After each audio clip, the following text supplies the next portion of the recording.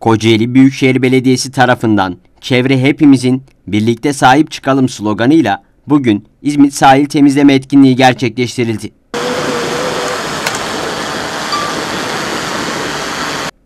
Dünya Temizlik Günü'nde İzmit Körfezi Dip Çamuru Temizliği proje sahasında gerçekleştirilen etkinliğe Büyükşehir Belediye Başkanı Tahir Büyükakın, Büyükşehir Belediyesi Genel Sekreteri Gökmen Mengüç, İzaydaş Genel Müdürü Muhammed Saraç katıldı.